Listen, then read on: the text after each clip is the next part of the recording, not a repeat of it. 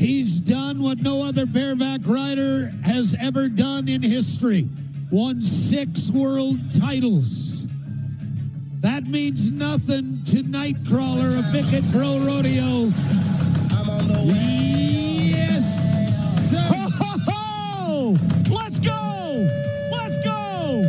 Hey, bareback riding fans, stand back.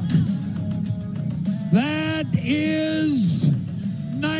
Nightcrawler. I I got a feeling the six gold buckles just aren't enough for Kaycee Feild. Hux has got a lot to be proud of in his daddy who he's watching here tonight. And as Feild sets his feet, say something to the six-time champ of the world. Attaboy Case.